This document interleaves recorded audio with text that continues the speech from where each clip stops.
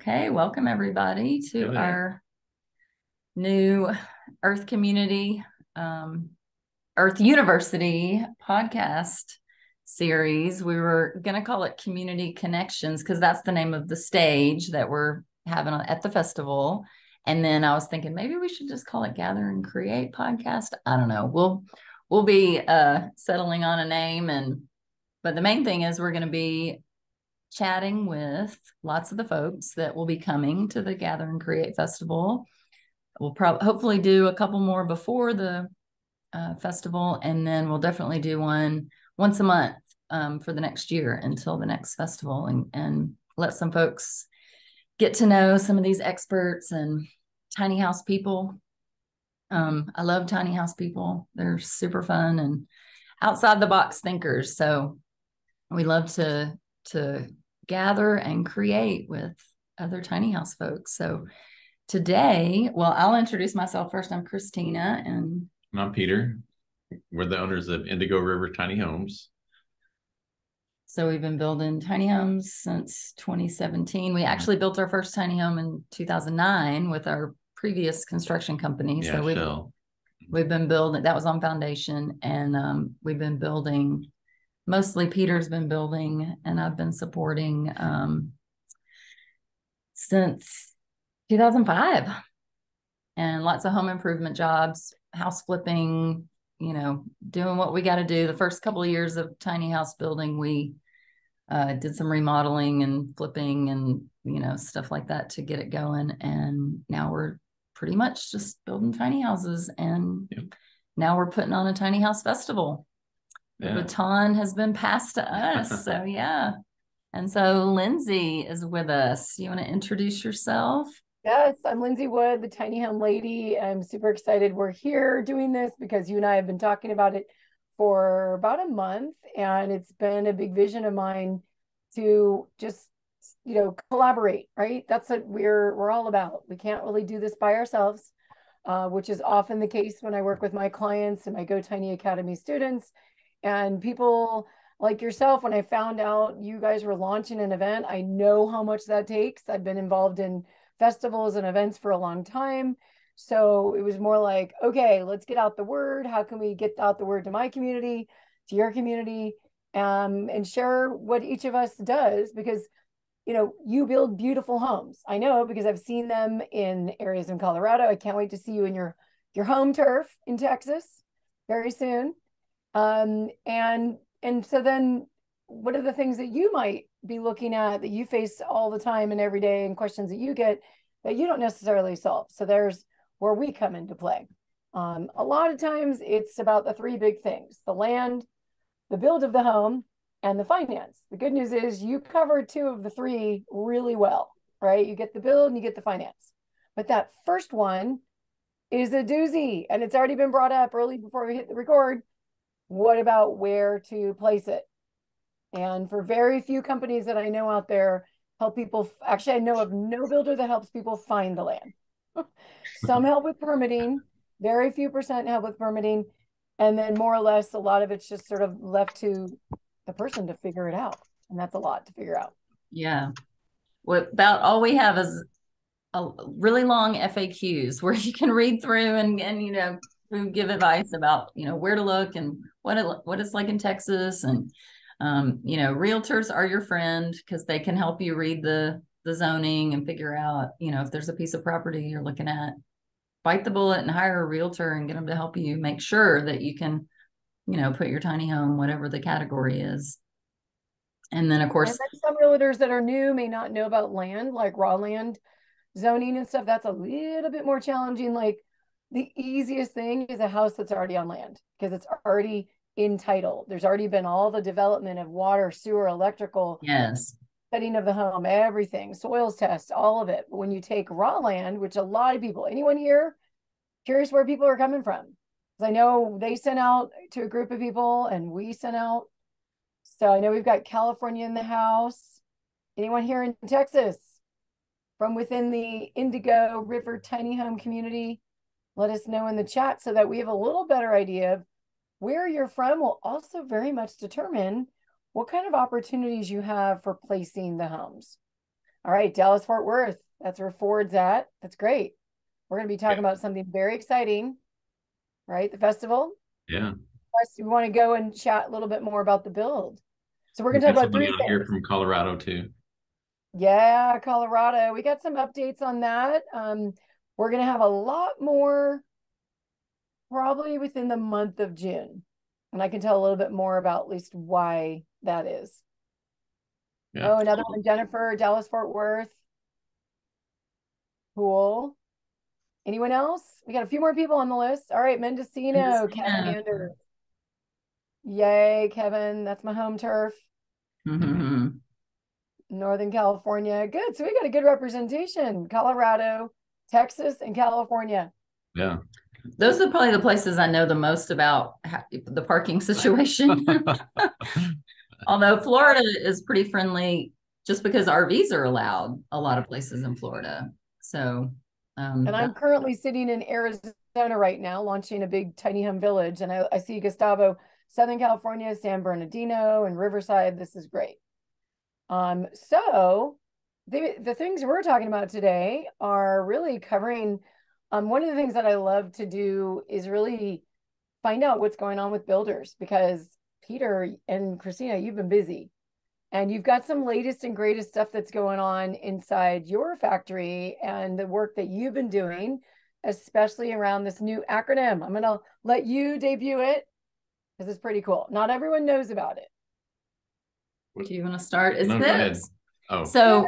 So I- one of the things that is little known is that it's not a new acronym. SIPs have been built since the 60s. And so they build um, apartment buildings with it. They build, uh, it's especially hurricane proof. So a lot of like cottages and, and uh, beach houses are built out of them and they stand up to hurricanes really well. Um, but it's a building process where you use, it's called structural insulated panels. Yes, that, that's So what I'll SIP let stands Peter take over. for. And basically it's two um, cheap panel products with uh, a structural foam in between. And they can be, there's a few different types of foam. Most of them are made with um, EPS, which stands for expanded, expanded polystyrene, which is like a high density styrofoam. And then um, you can also use, uh, there's some polyurethane type uh, foams that are used as well and th- those tend to be a little bit more expensive um, and a l- little bit heavier as well. But they they also have a higher R value, so a lot of people prefer those.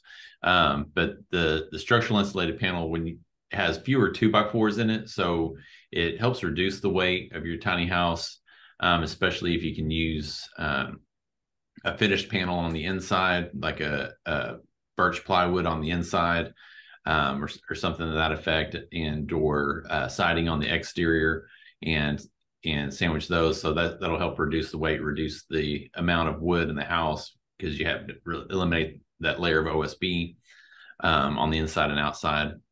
So it looks like an ice cream sandwich, and Peter went to find our sample, but he couldn't it. find it. so it, you know, it's two structural boards with the foam in between, and then you just run the wire chases and Yeah, that is that is one of the things. So you know, every building every, every building process has um, its pot its pluses and minuses.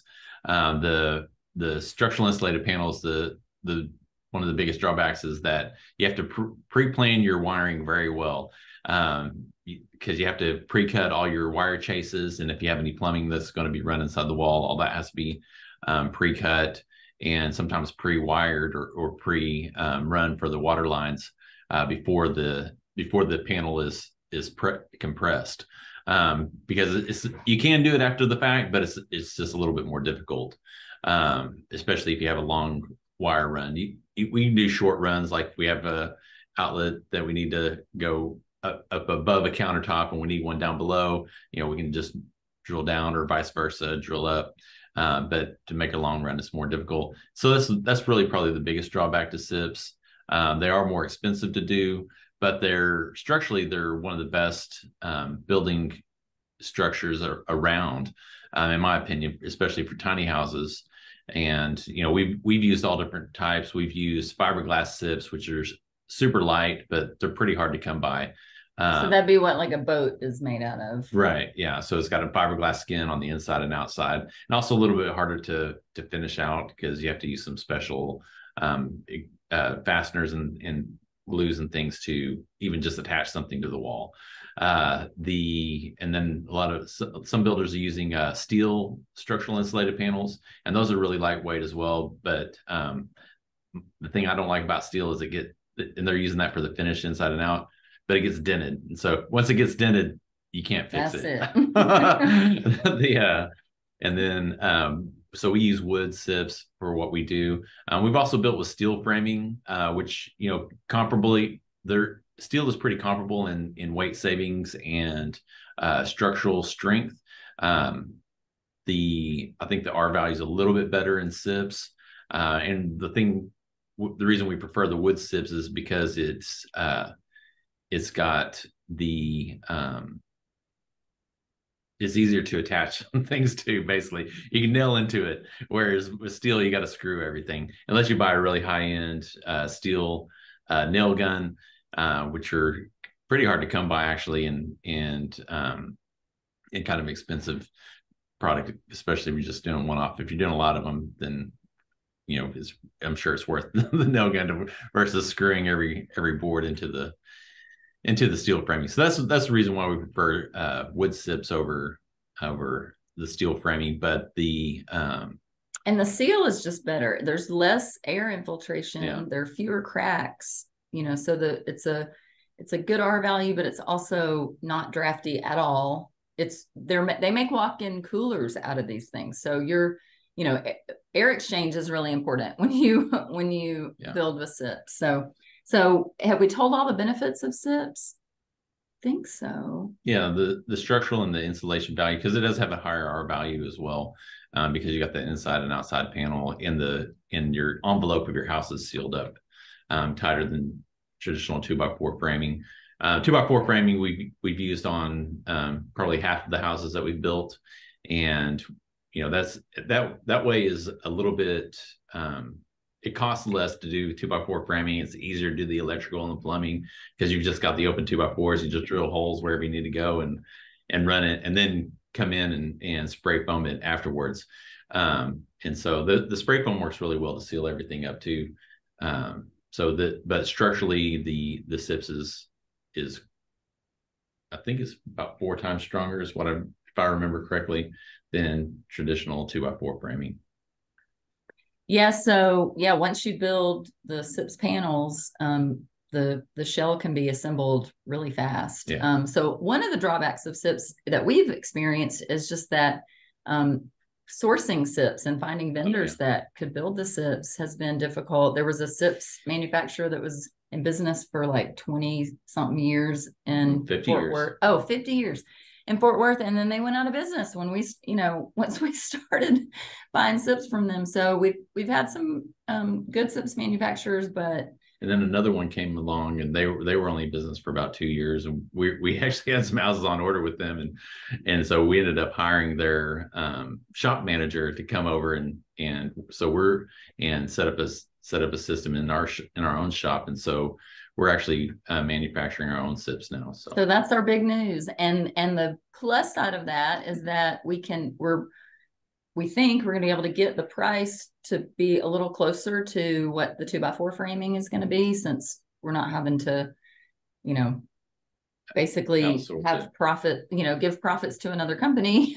um, you know, for the SIPs that they want to sell us, we're we're building those in-house. Um, and you know, trying to get the price down so that it's more in reach. And you know when we build tiny homes that we're gonna you know maybe put on airbnb or um my daughter is 13 she's ready for her tiny house to be built you know we'll build them with sips because it's just the best um you know the strongest lightest weight. It's got all the all the great benefits. So um i guess you said everything Yeah. about and so and then the other piece of news at indigo river is we have an opening for an apprentice so we we have um pretty much everybody that's working with us has started as an currently working with us has started as as an apprentice and Um, some folks just stay for six to nine months and then they move on with the skills that they've learned here. And then, you know, some stay and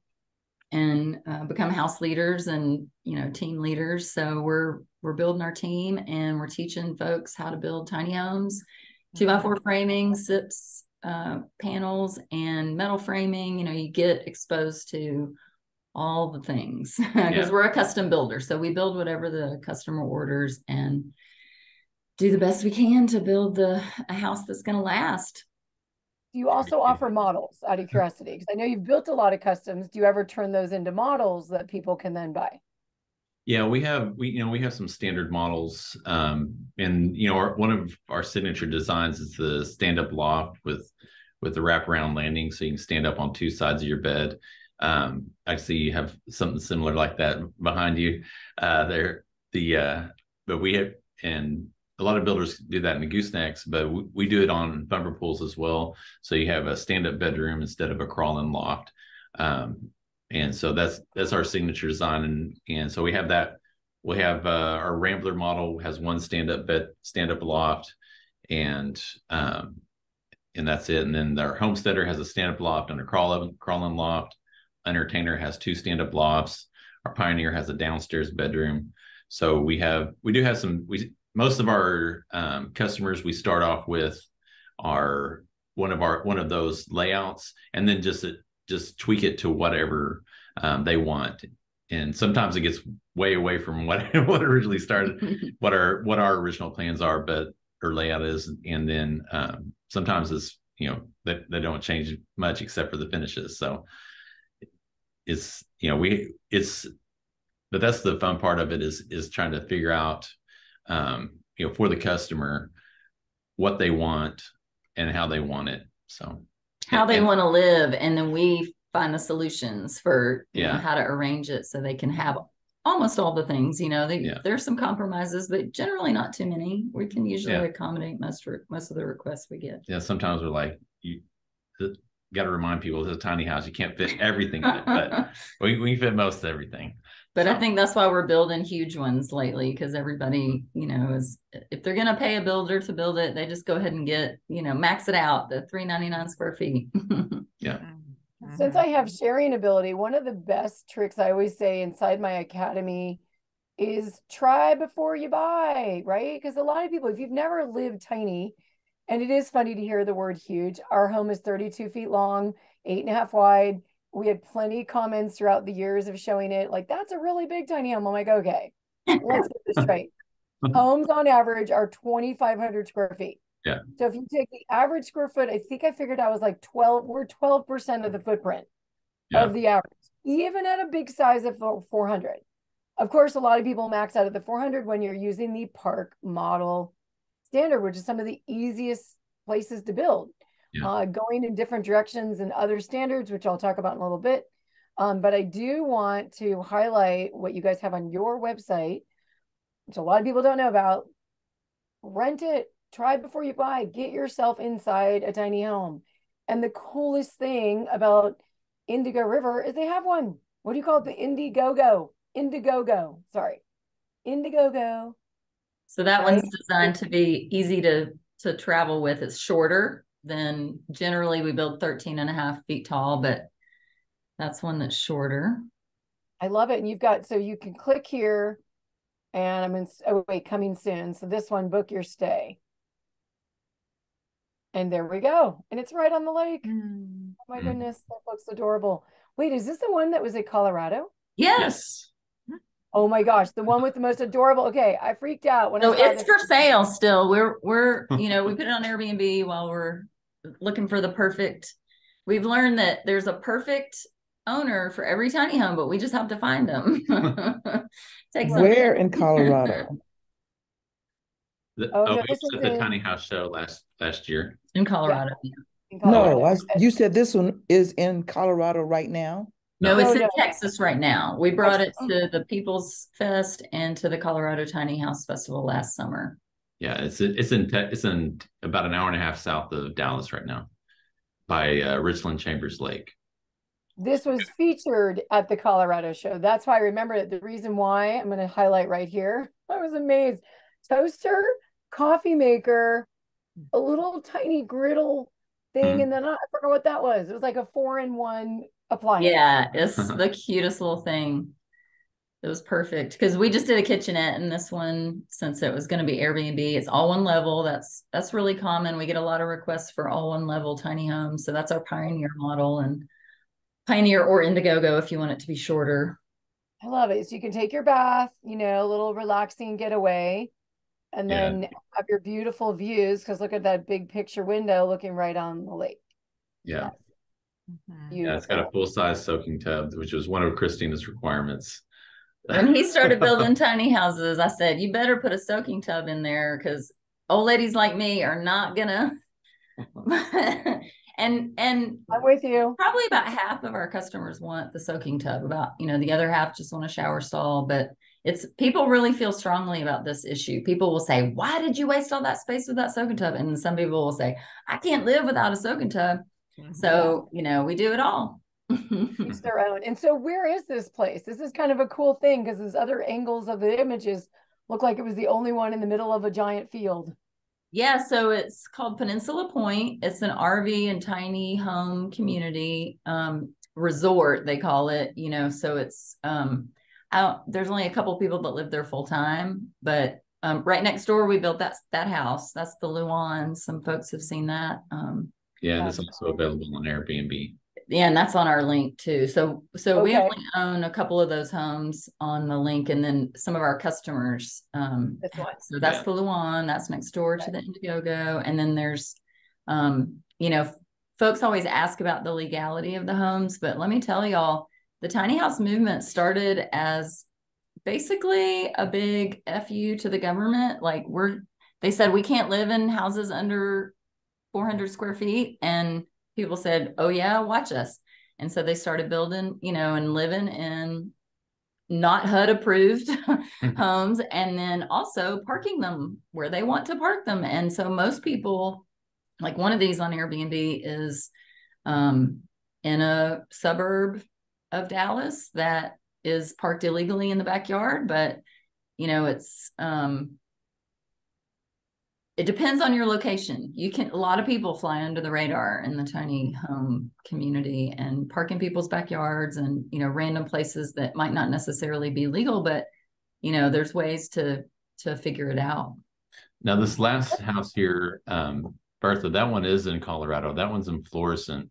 Um, and uh, if you go to our website to there, It was close to the fires that they just had, and Oh, we yeah. were we had a prayer vigil there for a minute so that Bertha didn't burn down and it it uh, survived. Oh, But you can contact these people. They don't have it listed on Airbnb. yeah, they- just contact them directly. yeah, they're they only want to rent to people who are interested in tiny houses. So they're um, they use it mostly for their personal use, but they will they will rent it out. I'll put that See, in the Being a tiny house person has benefits and perks. And I wanted to go back to the whole like legal and under the radar thing, right? Because Yeah. it's a thing. Um, and I like to always tell the story of Jay Shafer, one of the godfathers, the godfather of tiny homes. And he happened to live in Iowa in the winter. He actually lived in a number, I, I learned this, very small airstream. So Jay was already predisposed to small. If Jay was predisposed to like, I have a giant fifth wheel, we probably would have seen bigger tiny homes from the very beginning. if you look at Jay's original thing, I actually have the book right downstairs. Um, you see his little tiny, tiny airstream. We're talking little capsule. So no surprise, he was dealing with like a lot of insulation challenges, freezing pipes, you know, all kinds of things. I mean, you can have freezing pipes if you don't do the plumbing right, right, Peter? Yeah. So you got to do the plumbing right. But besides that, you just have a thin wall. That's what's happening with an RV straight up. And that was when he kind of really thought, you know, it'd be great to live in something like this, but not have to. I think he's had all these defrosting situations and having to constantly keep the heat on. And so that's when he had the bright idea of like, okay, I like it on wheels because I don't own this land below me, but I want it to behave more like a regular home where I've got a two by four insulation, I've got insulation, you know, a real wall and all the other features, and then the loft above because he still kept it in like a 20 foot max. That Yeah. was Jay's world. Nice, of course, yeah. more of us starting getting a hold of like, well, that looks great, but I need it bigger. I have two dogs. I got a husband. I've got, mm-hmm. you know, I'm up here in this office. I would normally close this door so my husband doesn't have to hear, but we just moved. There's the moving box. there we go. I was hiding that, but now I'm not hiding it. I'll just come out and be uh, real. You're so, you're a real person. real person, real tiny home, husband down there, and I really needed a door to close. You know, we've also just moved here with our tiny home here in Arizona, uh, at the Whistle Stop AZ AZ Whistle Stop RV Park, and it's a new park here in Arizona that's open to tiny homes as well. And I'm connected with United Tiny Homes, but we're like, please bring your tiny home as long as they're certified right? Got to make sure it's certified. And oh, by the way, who are you certified by? What is Indigo River? RVIA and NOAH. There you go. Certification is so important for making sure your buildings are built safely, on um, being able to park legally, kind of getting back around to that conversation.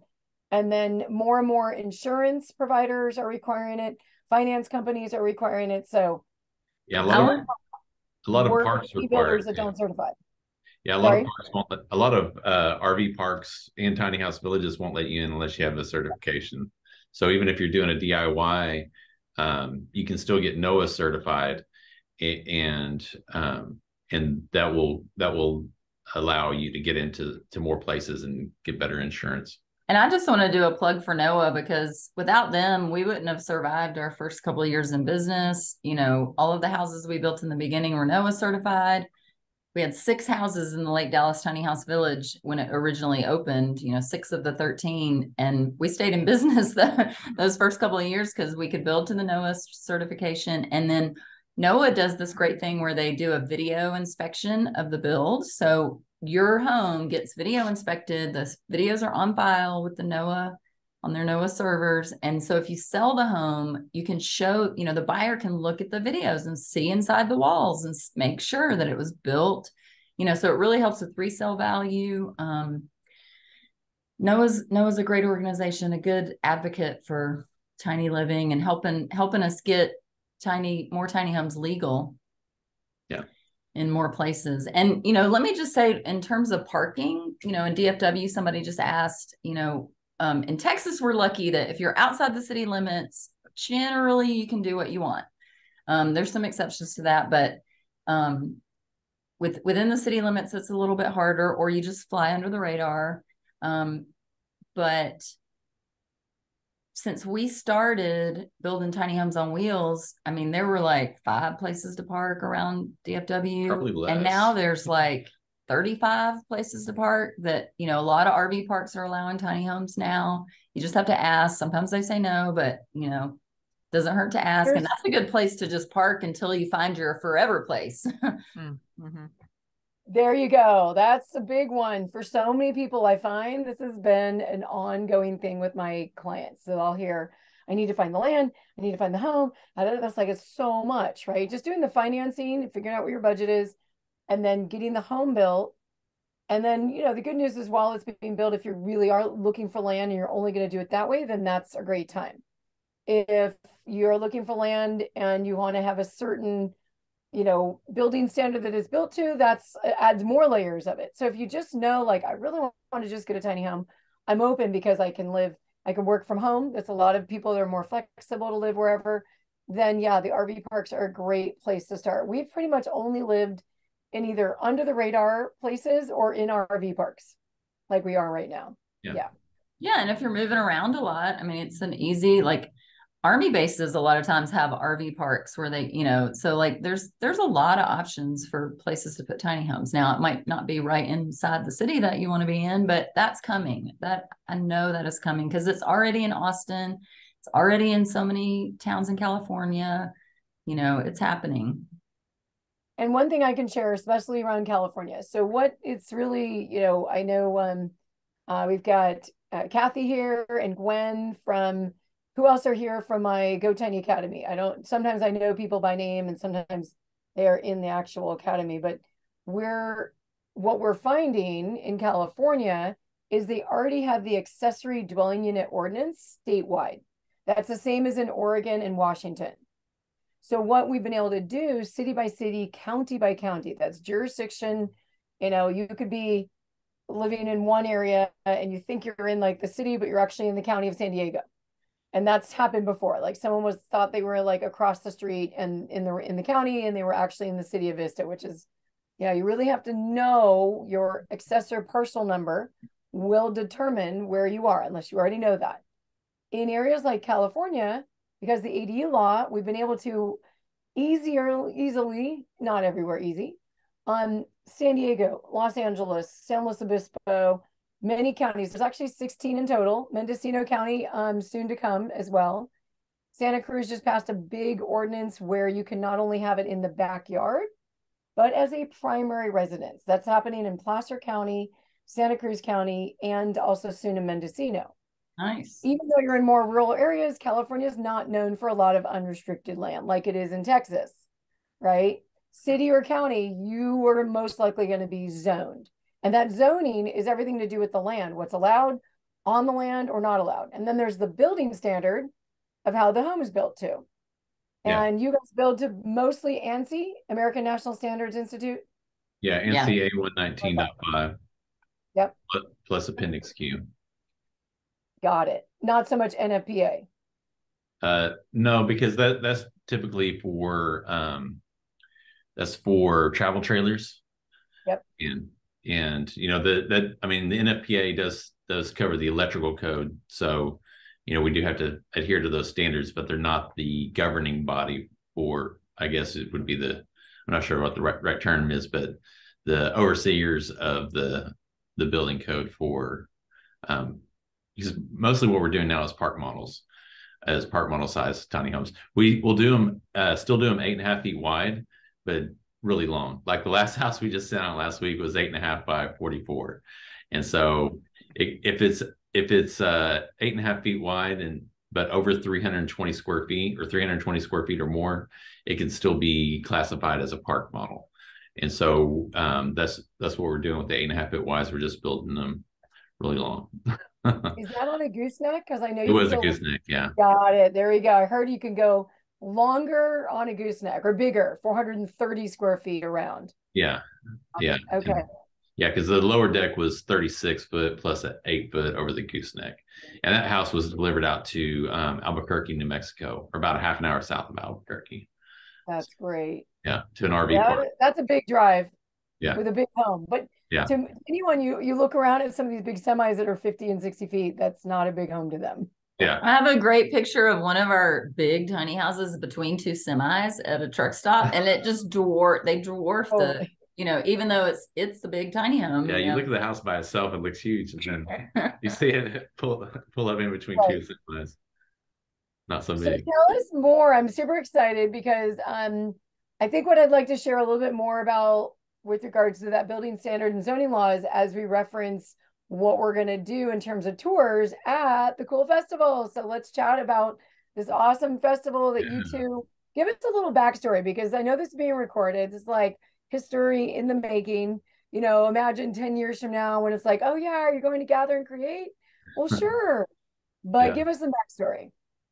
So we've been attending, you know, all the tiny house festivals since 2017 that we could Well, in our possibly go to, you know. so so in Dallas or Austin, and then we've gone to some in in Colorado, and um, you know, we've planned planned events before in the in previous lives for homeschoolers and that kind of stuff. But um, we were glad to just be attendees at the event, and glad for people to put on the events and let us just bring a tiny house because that's not a small thing to bring a tiny house to a show. Um, so you know, we've been we've been attending the festivals, you know, seeing the crowd, learning kind of, you know, what the demographic is and you know that shows up which it generally people ask that a lot. It's any it's all the gamut from DIYers to folks that are looking for a professional builder to lots of investors that are looking to buy either like a multi-unit order of tiny homes and develop land you know so it's everybody comes to these shows and um so what happens a lot of times is the baton gets passed with organ organizers because you know it's not a small task and um so we're we picked up the baton this this spring since um, the last organizer uh, decided not to do the April show that they normally did. So we kind of last minute decided Love to Please. call in the tribe. Ta-da! Hey, Yay. Yeah. So we've been so super overwhelmed with, you know, the the response from builders and, you know, folks in the industry and land developers and everybody has been contacting us wanting to, you know, be a part of the show. So um, we're a little behind on posting, you know, everybody, if you're listening, send me your logos so I can post your your stuff on the website, but um, we'll get caught up on that. But we've got, I just counted this morning and we've got 22 tiny structures that, um, so I want to say we probably have about 25 that are, you know, a lot of those are committed.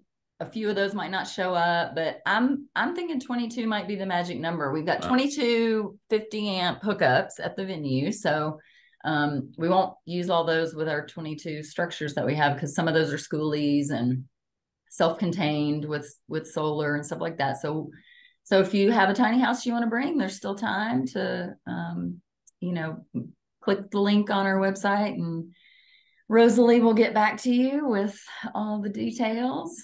So yeah, I yeah. love we do have more 20 amp plugs. Oh yeah, we have unlimited almost 20 amp plugs. It's a, it's like the perfect venue for a tiny house festival because it's super flat.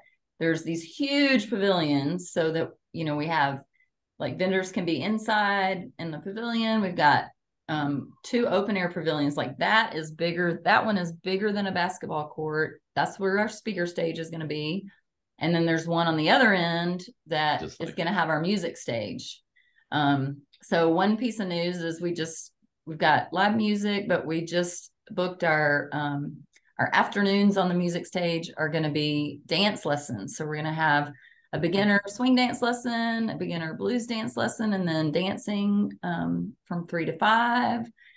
So it's going to be, Yeah. you know, not just tiny homes, but you know, one of the things we like about tiny home people is how creative everybody is. And so, you know, we wanted to bring the arts into the festival and have more DIYers, have more, um, you know, vendors that have that are artisan quality, you know, um, items, and then also, you know, the performing arts. So, And the swing dance lessons are free, by the way. oh yeah, I think we'll include it in your in your admission. Yeah. I love it. And this South Fork Ranch, anyone a Dallas fan from? I'm not talking about the football team. So this was surprising to me because I I was a child when you know Dallas came out and I guess a teenager by the time it was the show was over and I didn't really watch it all that much but visiting and going on the tour was like so much fun. My 13 year old daughter loved it. She was She total. She's been watching the show now since since we did the tour, and but it was. I was really surprised at how. I mean, it's really nostalgic. You know, the house was built in the 70s, so it's like 70s opulence. You know, um, really kind of fun. You know, and and so nostalgic. And you know, even though I didn't watch the show a ton, um, it was it was really fun to And and be there. and they're going to have discounted tour um discounted tours for people who attend the festival. Uh, I think the tour is what seventeen dollars, Something like that. and so they're going to have like- ten dollars tours for for anybody who wants to go That might not be the- exactly right. Might be 12. I don't know, but but it'll be six dollars off whatever their normal price is, I think is what she said. Oh yeah, I think it's sixteen, and because I remember. Oh, $10 maybe. a ten dollar ticket for the tour. Yes, the bus is belongs at South Fork. They they it's a, it. a bus that used to um I guess they used to use it and when it it was just on the property and I think during COVID they were like looking for projects to do so they converted it and so this is like their food truck. When they have venues they're going to be serving barbecue out of the bus and then that our our bar will be there too. So Mhm. alcohol in the bus and um, and then we'll have a couple other food trucks well several other food trucks some dessert um a taco. Here's the original tiny home, right? Let's all get right. yeah that's what that's what i you know tiny homes are the original you know Mhm. you know nomadic and and you know folks that lived in you know straw huts and you know There's no soaking tub in there though.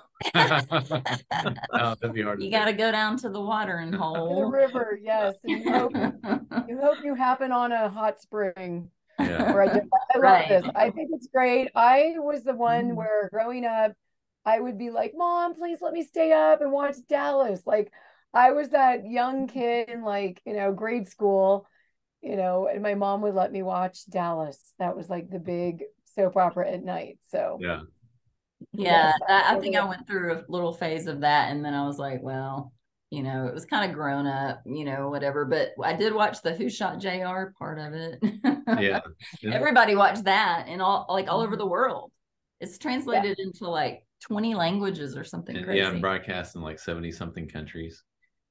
that's Uh, great. ori- originally it was, you know.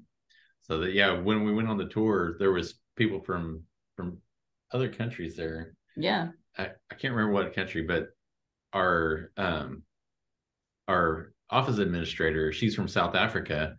And on Tuesday nights when uh Dallas was on the air, restaurants would lose business because people were at home watching Dallas because they only had one TV channel and they and they broadcast Dallas on Tuesday nights there. Oh my goodness. So before we move away from the festival, I do want to give a shout out to our community partners, um, Namaste Hideaway and Decathlon, Tiny Homes, and Battleborn Batteries um, have have jumped in to sponsor and help us cover some of these uh, event expenses, and so um, we're super Yeah, grateful to them. Namaste. Um, they're gonna they'll be speaking on the stage. Um, about building community and their tiny home community that they built. And then uh, Jerry Terry from Decathlon will be on the builders panel with Peter and uh, a couple other builders. Um, and Battleborn is uh, a so, well, they have solar and they have batteries. They have a lot of um, products for nomadic, self-contained, off-grid kind of stuff. yeah, they have lithium With batteries. Battleborn in our flexible solar panels and things like that. And so in regular mounted solar panels as well. Yeah, they're some of the best quality known out there. For people that don't know about batteries, they definitely have a good reputation. That's always important when that's one of the the it's pretty much one of the highest cost of your solar system. Yeah. yeah, definitely. off grid. Yeah, the batteries can get pr- pretty pricey. They've they've actually come down uh, a bit the last few years. Um, you know, you used to pay twenty five hundred to three thousand for a you know five kilowatt hour battery. Um, now now they're down to around you know two thousand or so, uh, under two thousand. So, and and that being the biggest cost of the you know for us we we put at least four five kilowatt hour batteries in a in a tiny house. Um, and you know so that's a, that's a you know even at two thousand dollars a piece you know that's eight thousand dollars just in batteries so So is now a good time to share what's right below the venue? Yes, that's kind of our Yes, next sponsor. Go Tiny. Hey, I'm so excited. Supporting the Tiny House Festival so much. So y'all, y'all check out Lindsay's stuff on her website. We're so excited that you're going to be joining us.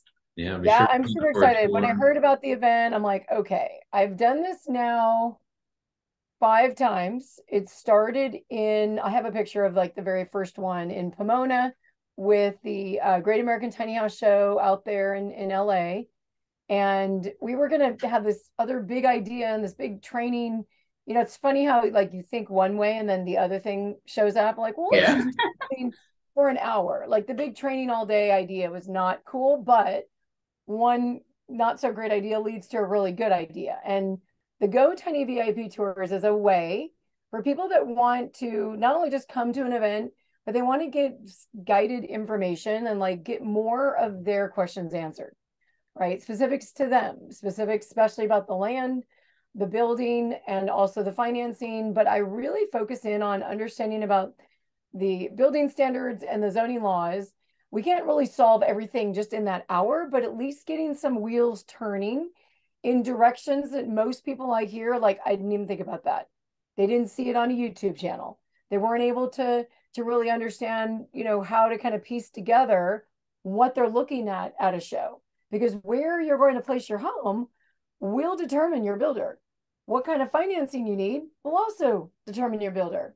I mean, Yeah. those are all things that are super important. But you know, when you're just there as an attendee, how do you really know who are you connecting with? Um, you know, usually the builders are really busy. They're doing tours of their homes, right? They don't only have an hour to stay and, and answer your questions. There's a line out the door, literally. So at from 9 a.m. to 10 a.m., and this is the coolest thing, no lines because it's before the show opens. And these are always the the first ones to go, right? In terms of ticket purchasing. So it's personalized tiny home questions, no lines, and then the pre-show with me. So we're going to go around.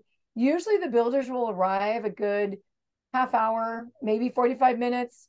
Um, but oftentimes the first 20 or so minutes that we're meeting, I'm really educating people about the building standards and the zoning laws and and things to think about for your own project. Um, certifications, I point that out all the time, every event. Okay, so then we also have um, let's see, oh, schedule. Sorry, I'm looking at that one. I know that when you do sign up for a VIP tour, you will also be joining the VIP happy hour. But we do the tours also at noon and three. Now, clearly, there's going to be lines at noon and three. Some of the tiny homes, I'll stand in line with my tour so that we're answering questions and using and leveraging that time in line. We also can do a lot of stuff outside the homes. And then I let people go inside the homes to take a look at design. I'm, you know, as far as design concerned, there's like a bazillion and one things we could talk about. But what I really want to make sure people understand is like how they're going to make their home happen. And it always comes down to the land, the, you know, and the building standards and the zoning laws and how that connects. In addition to the zoning laws and all that stuff, it's also your septic, your sewer, your water. Are you going to do a compost toilet? I mean, those are constantly the things that Peter and Christina get questions asked about. And usually, if you're trying to do a compost toilet and that area may or may not allow it, you need to find out if that's approved. Yeah. If you want to go the way you want to go and it's not approved, then that might be more of an under the radar scenario. You know, we're not here, we're not the police. We're here to share with you just some things to be aware of because we've also all heard stories about people buying something and then it not working out. And that's not something that's the most ideal. Have you guys ever had that where a client bought a home and then it didn't work out because of the land thing? Um, no, they'll just park in a temporary place, like an RV park, until they get their land situation. Um, you know, we've only had one one customer that kind of had a change of heart, you know, after we had bought, bought their trailer. But other than that, you know, people have lived in their There was an easier homes, or you know, sometimes it's a cabin for a hunting cabin or something like that. But um, So let me share with you a couple pictures of what this VIP tour. First, I'll start with a video. Let me expand my screen here for a second. Okay. All right. So there we are. There's the Dallas South Fork checking mm. out tiny homes. All aboard!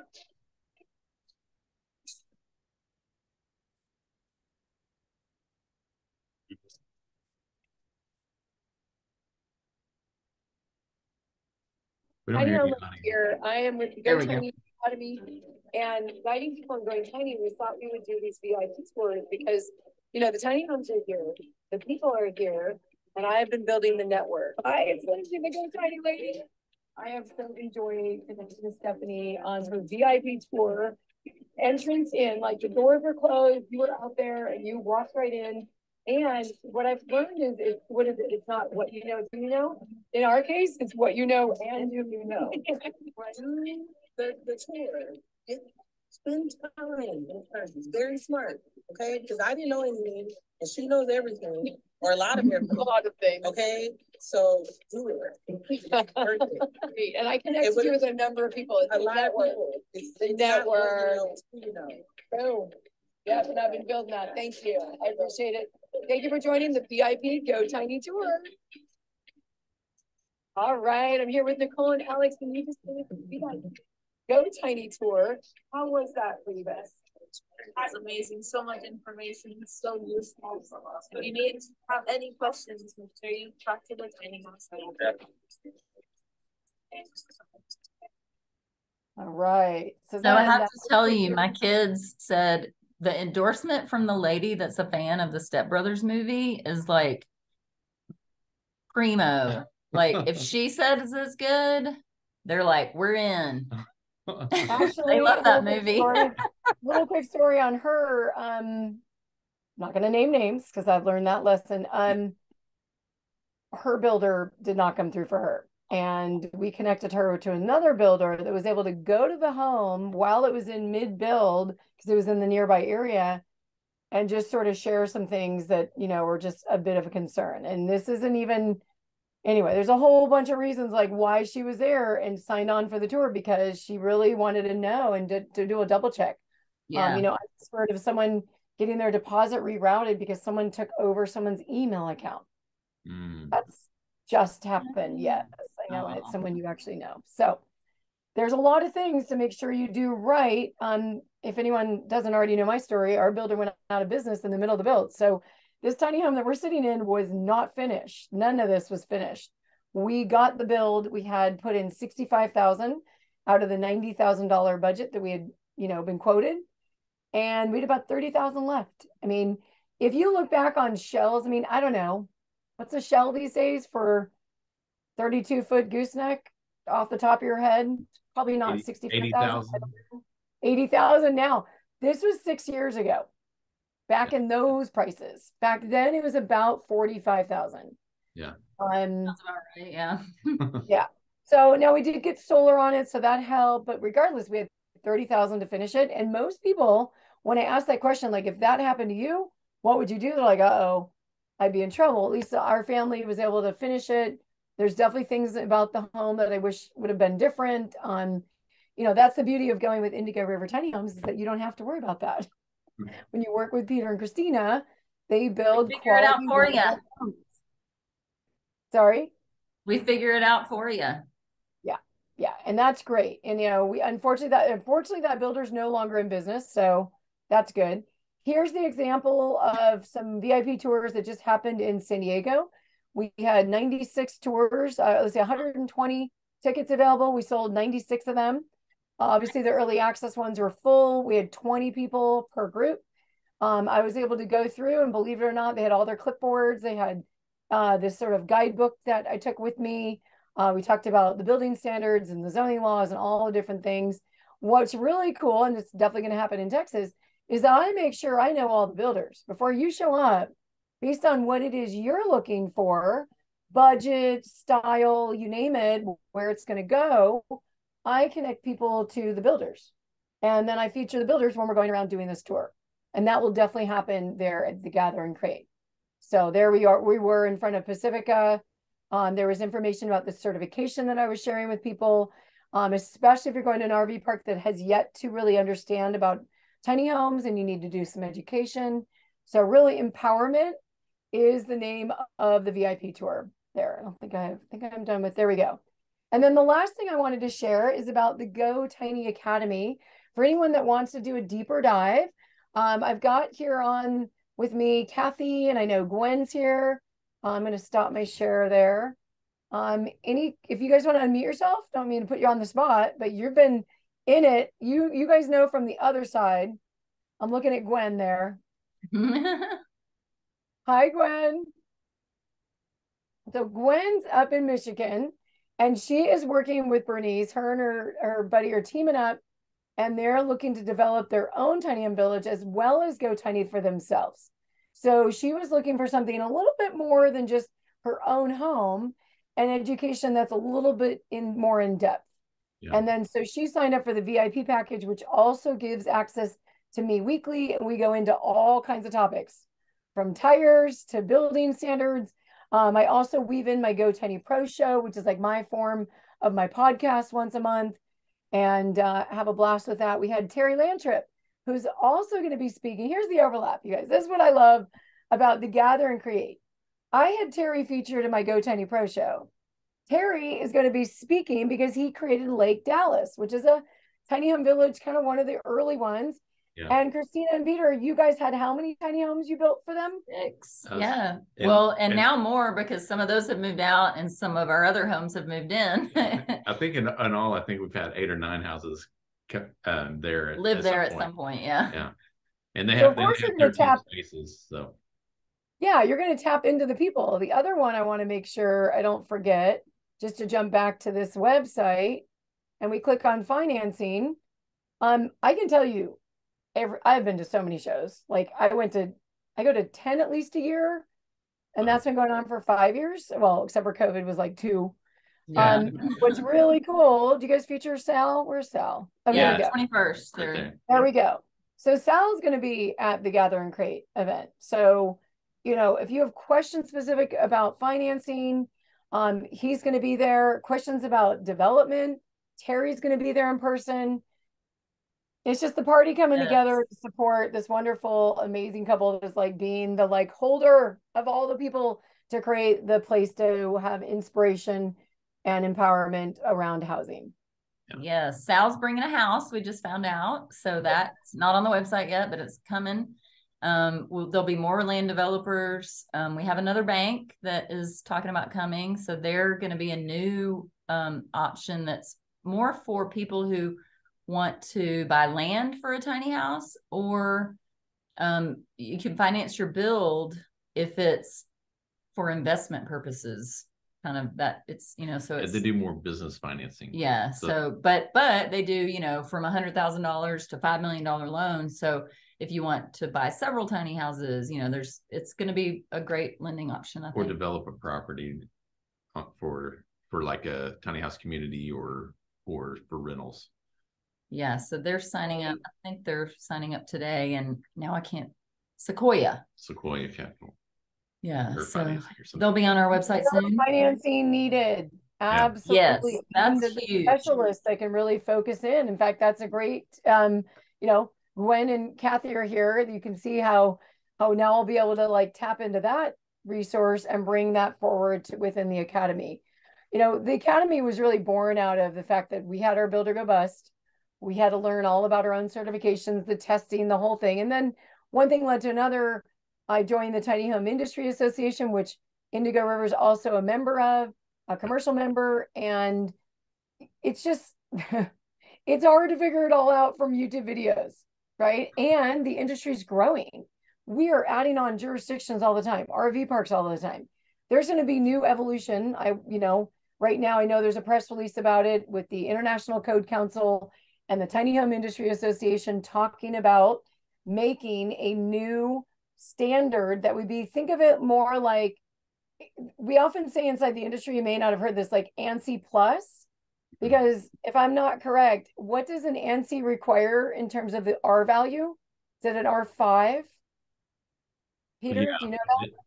Uh, the ANSI A119.5, I don't know off the top of my head, but the NFPA for travel trailers is is like an R5. Yeah. Yeah. Yeah. So we build way higher than that. It's like a really thin wall. That's just one example of many aspects of the build. So if you're going to build to that, you're going to have a lot of heating and cooling, period, because you got thinner walls. Yeah. So if you think about like a lot of the builders are building to ANSI because it's the only standard that's available. Well, some of the big issues is that it's known for temporary living. That's just the standard Right. and how it was built. It's just the best one that we've been able to kind of identify like, well, it's on wheels, so it's more like an RV, but it's not really an RV. And so we've just been in this like uh-huh. bouncy house where straight up tiny home industry's been like slapped around a lot by all this issues with regards to not being able to place our homes. Yet they're amazing. Yeah. They're far more superior than even the ones built to HUD certification yes. because HUD is national. I don't know all the HUD specs, like in terms of insulation and all that, but what you can do in Tennessee, you can also do in California. In California, you cannot much more Like a stringent. mobile home.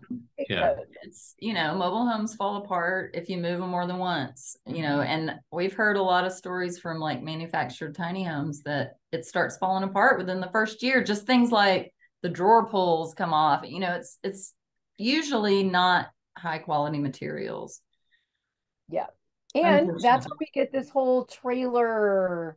yes Now, as much as we know these tiny homes are adorable and they're built on a trailer, the stigmatism of a living in a trailer has begun way before I was born, like around my Yeah. mom's, you know, she's 80. And now, you know, back in the 40s is when what was happening after the World War II? All the people coming back, let's go build houses fast. Right. Fast and cheap, right? That's what we did. And we're still paying for it by way of this industry trying to find more attainable, affordable housing solutions and ones that people just want more simple living. They don't want to clean as much. They Right. don't want to have all the things that are requiring that are required of them in living in a bigger home. Yeah, a, a huge part of our um the our customer base is are people that are downsizing, you know, empty nesters, uh, people getting ready for retirement. Um, you know, and they they don't want the big house anymore to take care of. They want something small and simple to, you know, to uh so they can enjoy their life more basically and not not worry so much about their house. And they've been keeping their three bedroom, four bedroom house up in case their kids come to visit and then their kids never come visit. So they get a tiny home on wheels and they can take it to where their kids are, you know, and park outside of their kids' house in one state and then go to another state when the weather's better there and park outside another kid's house. so, I mean, and I think all ages are downsizing. We we have families, we do three and four bedroom tiny homes. So, you know, we get a lot of inquiries from families. Um, you know folks that are going to start a family you know but they and they just want to own their own home they're tired of paying rent Yeah. so this Yes. makes it attainable I put in the chat, what is your number one? Everyone here, we've all been chatting for a little bit. Number one reason for going tiny. There may be many. I know mine was home, home ownership. I was tired of the rental cycle. I just needed to step off the the hamster wheel of paying someone else's American dream. right, Right. we live tiny i don't it's not everybody knows when i met peter he was living in 350 square feet and can i tell him about the windows No. I mean, it was a fine place, but his decorating skills, I'll just put, I'll just say that those they were interesting. But you know, I was a single mom, I had a toddler, and you know, I was like, do you ever have openings in your, you know, part? It was they were built after the war, um, but but good quality, you know, bills. They were like quadplexes, and and um, he said they never have openings because you know it's so The was and yeah, the, it was ti- it was it was 350 square feet. It was plenty of space. And then he went to pay his rent and they said, Oh, the apartment next to you is opening up, which, you know, never happened. So I grabbed that. So I lived tiny with my three year old at the time. And um, it was perfect. It was, you know, just what we needed. It was what I needed to, you know, move out of where where we were before and and go to a place that um, we could have our own space and it had a little yard and you know it was great so we've had more kids and um, we homeschool and you know so now we're in a bigger place but we'll eventually end up tiny again once you know kids are gone and uh we have favorite model? elderly parent elderly parents that need a little tiny home that we can keep them separate in their tiny home and then we can have our tiny home over here That is such a, a popular. My I did four shows in just one month of March. That was the common theme of I have property, either my mom, my kids. It was some family member that needed to go in the backyard. And I just think about in San Diego alone, they need a hundred thousand homes in the next six years. Oh wow. Dang. Just, you know. And so what do you do without them, right? You you everyone jumps in on on the you know the long lines of of people wanting you know that apartment. Um i you know it's amazing like how many of us have heard this oh i'm saving up money so i can move out of my parents house so i can go into the rental cycle. Right. Yeah. Yeah, those are that the one- people i mostly like you need a tiny home because at least all the money that you pour into this your lifeblood whatever i mean yes you can start smaller you can expand you do all the things but i just think about that rental again and again i get it for some people they don't want to deal with any maintenance and all that i appreciate you know i'm not here to say this is the only way to do it however we're here talking about tiny homes Yeah. So I see in the chat, simplicity is one reason. Um, create truly affordable housing for single parent. Yeah, that was my thing is, you know, I just needed a place that we could be safe and we could, you know, have just enough space is all we needed. Yeah, we've built houses for single parents. We've built um, houses for um, young couples or young individuals who didn't just didn't want to rent anymore, and they, they, you know, but they couldn't afford necessarily afford or want to afford a a, a large house, and so you know they could afford a tiny house, and so they can take it with them when Yeah. they move to Oregon and you know have a new job across the country. They can take their home with them. so So, there it's makes for a good starting a good starter house. So maybe we should open it up to a couple a couple questions because some folks are having to jump out to go to other meetings and yeah, stuff. we're running a little long. But any questions from anybody? We definitely are gonna put a deck in between two tiny houses. That's like our next goal is to we're gonna have a little lakefront property with um decks in between tiny houses. Screen porches. I saw this in Lake Conroe. That's down by Houston, I think. Yeah, Oh, Lindsay. froze, Lindsay, you're looks like. frozen. Uh-oh. So anybody that has a question, uh, unmute yourself and. Uh-oh, Is everybody frozen? I don't know. Everybody but us. She's the maybe reclaim host. No, I, I'm the host. Oh, they're back. There we go. Are we- You guys are back. Okay. so are you. We were saying Lindsay froze and you're saying they froze. Something in the Zoom world, Kevon. Yeah. So any other questions? Oh, ICF, ICF blocks. Have you heard of anyone building tinies with? ICF blocks? Yes, in, insulated concrete form, insulated concrete form. Uh, and I've not, not on wheels, no. Uh, but on a foundation, yeah. And they, um, I've also down in Austin, um, we're down at the, a couple weeks ago, down at the, uh, Fishes and Loaves Tiny House Village is for, um, for homeless people and they've they've got some 3D printed concrete uh, tiny houses down there, and so that, tho- those are pretty cool looking. Uh, but the uh, ICF is usually on foundation, Yeah. Be- just because of the weight. Heavy. It- it's too heavy. Yeah. Plus any did of see that. a concrete. You know what? I did see a concrete house like On wheels. 2017 on wheels, and it was a super heavy duty trailer. And it was Good I- I- thing. yeah, I think it was the it might have been the insulated concrete, but I, I don't remember offhand. It was it was about six years ago, but Hmm. uh, but yeah, it's definitely a good option for on foundation. Maybe that's the way for. Michigan to go, because Michigan seems to be way behind Ah. California. Like Yeah. just their whole mindset on this tiny home. I feel like we are years, years behind California. Yeah.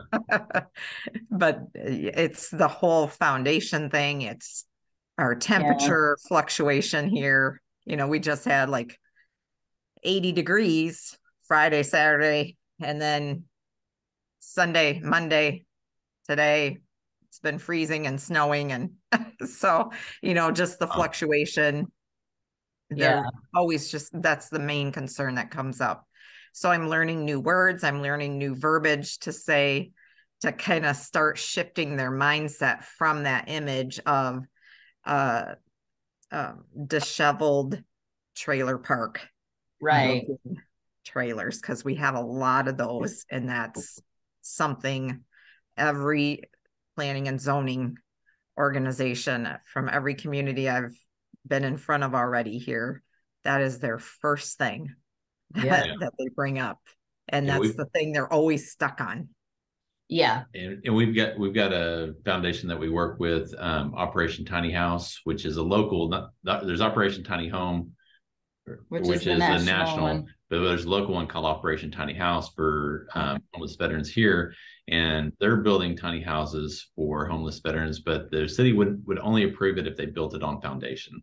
Okay And so that they were they've been trying for years to to get something through. They just got their plot of land um, in South Dallas um, last week. They got they got finally got title to it, and it's uh, 11 acres, and they're going to develop it and and make some commercial property in front.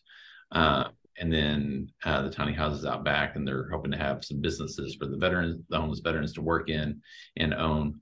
Um, so They'll be at the festival. Yeah, they will be at the festival. Awesome. and then there's a question for Lindsay Yeah. for any advice for people trying to change zoning in their city.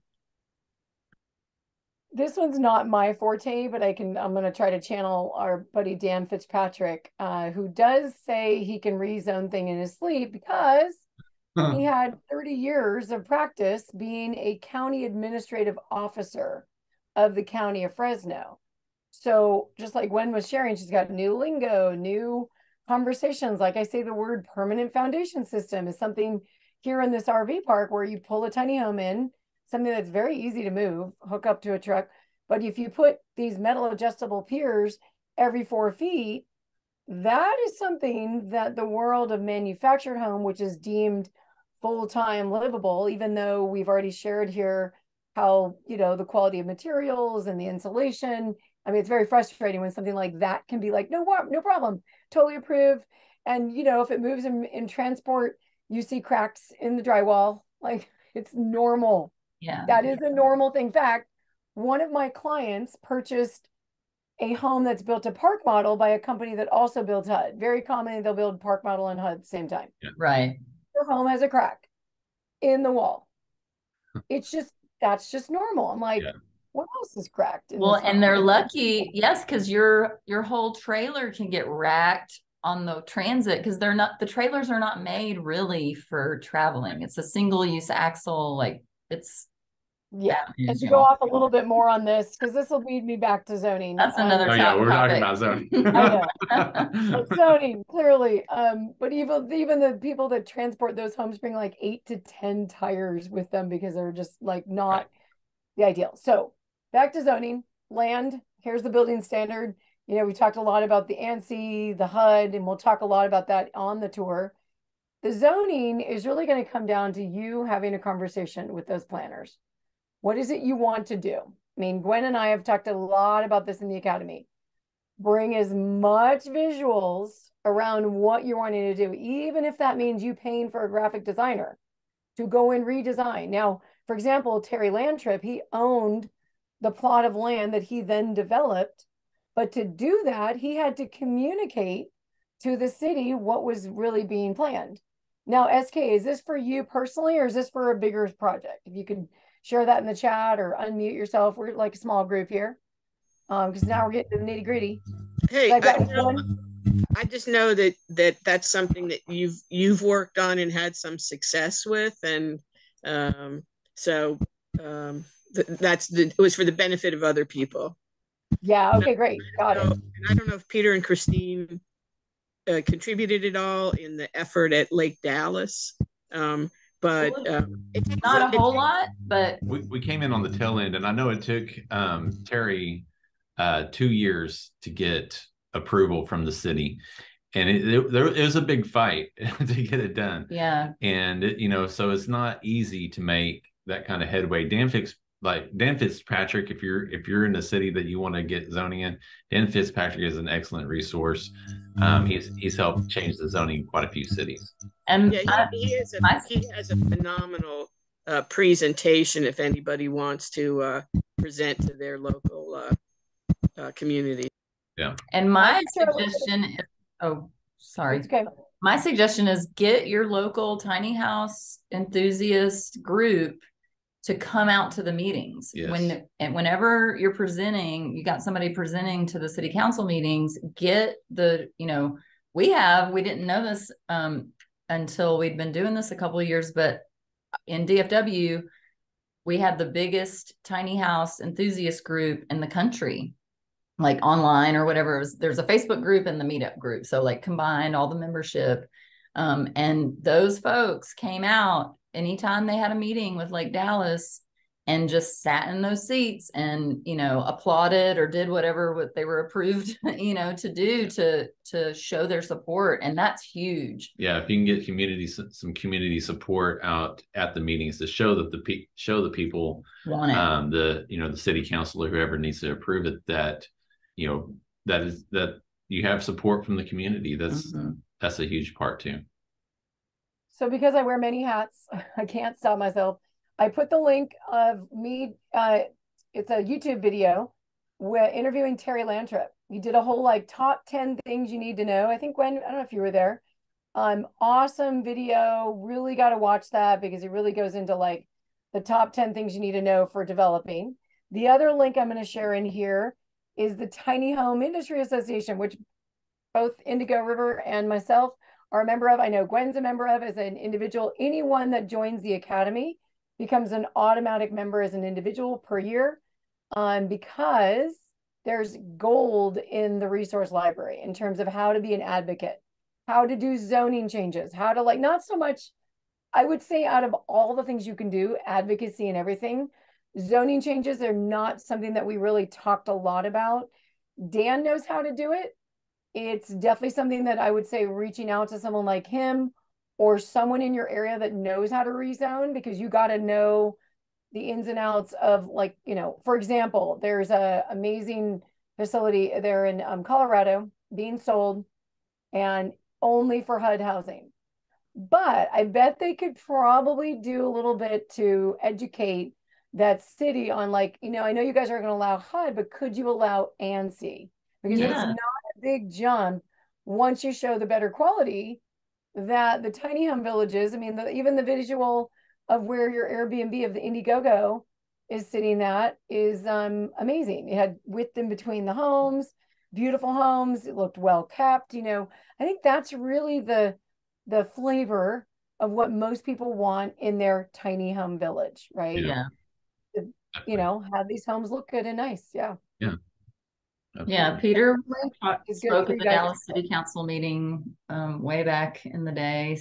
Uh, somebody, he and somebody else did a presentation, and it's just going to take. And I just want to encourage you, Gwen. I know it probably feels like it's going to take 10 years to get it, but it really moves faster than you know we think it's going to just because there's so much momentum there's so much demand the banks are calling us we want to lend on tiny homes the you know and they have to uh, they have to get their board on, you know, their their board members on board with hmm. learning on that. But you know, the it's the institutions that are always the slowest to change. And so the people just have to lead and we have to show them that this is what we want, that this is a way for people to have the American dream and own their own home and and also, you know, be able to move their home maybe or you know just have a smaller footprint so they're not using so much AC and you know there's a lot of reasons that people want to go tiny and you know the governments will eventually listen to us you know if we if we are loud enough and keep at it. And it's you know it's changing. It's i was surprised at how quickly austin just you know and it's because of the housing crisis you know when the, any city that has any kind of a housing crisis that's the city to to go to and say we have a solution. Yeah yeah, and in finding the advocates, this is all embedded inside the Tiny Home. If you become a member of the Tiny Home Industry Association, there's an entire series on how to advocate. Um, yes. Um, the other thing that we're doing in the THIA world is doing a sponsor jurisdiction. This is mostly builders. For example, um, you guys live in what county is the nearest to you? Like, what's the big county? Dallas. Dallas County. Dallas. Okay. Dallas County. Okay. So it'd be like, okay, if Dallas hasn't been approved yet, we would find out like what you know, activity has been happening there. And then myself and Dan and this movable tiny home briefing document gets put out. And so we've already got about five builders signing on. It's only been me promoting it, but we're going to do more and more of that because uh, there's always, regardless of what happens with HUD and companies coming out with, you know, building to state building code, there's always a benefit of building to ANSI because ANSI is the easiest. It's probably the most affordable. It requires the least amount of oversight in terms of someone actually coming out and do your on-site inspections. Mm-hmm. So it's still worthwhile. It's just a lot of the industry has to shift. And I know there's a question like long ago connected to Colorado. Colorado is definitely something to be taking a look at. Um, they passed this a year ago, yeah. but they're writing the rules for what's to come in terms of what's allowed, what kind of inspections. That's their biggest one. Um, they felt I don't know how what got under their pillow or something. They had a uh, they had a meeting this week uh, on it um, up there. For the the legislature had a meeting on it. So I um, I haven't heard what's what's been the outcome of it, but I think the meeting happened yesterday. So yeah. hopefully we'll hear some news this week about you know some progress up in the in Colorado on um, allowing tiny houses on wheels. Tracy with building experts is she coming? Down? We haven't heard back from her Uh, yet. she- I hope so. All right, I'll ping her again. She is Alright. the task force. You know, there's a reason why you guys straight. Like, oh, she's busy. No, no, no. She is literally the task force, the only builder on that task force for the state of Colorado that is holding the entire tiny home industry. So the fact that the meeting happened yesterday, I'll reach back out to her and say, "Hey, Tracy," because she would know more than anyone what's going down in Colorado. Yeah. Yeah, and when that happens, other states may follow Yeah. because when Yes. stuff happens at the state level, other states then tend to share their info.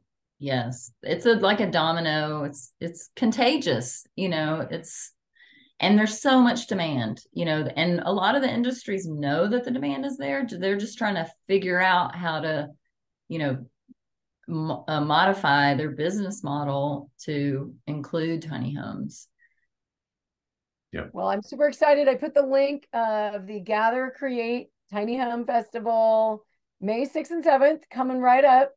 I Yep. think Christina and I will hop on and do another Zoom call. And this one, you'll be sending out the replay to everyone. Yes, I'll put it. I'll post it on the website. Yay. Yeah. So Well, thanks, thanks for inviting me. I, I am honored to be part of the Earth family, Yes. glad to have you. celebrating you guys launching this festival. All right. We can't wait to see you. in just uh two and a half weeks now. Oh my gosh. yeah. So yeah, oh y'all get your hotel rooms because uh today's the deadline for that. If we if we book up our rooms, then they'll extend more and, and let us have more rooms leading up to the festival. So and it's cancelable, cancelable. So if you book your room today, then you can cancel it if some, if plans change. But that they'll be more likely to let us have. And then there's camping options. There's um if you bring if you bring a tiny home and a or a schoolie or something, you can stay in your home at the venue. Um, so we have electricity and then we There's we no water, but you have to dry dock. But but we do have shower facilities for um campers at the festival. And then there are tons of RV parks that we're right by Lake Lavon at South Fork. So there bunch of RV parks Yeah. where you can bring your rig and and camp. So yeah, or just stay in a tent if you want to. yeah. So So yeah, cheap options, luxury hotel options. There are lots of options, and we're gonna have so much fun. We can't wait to see everybody.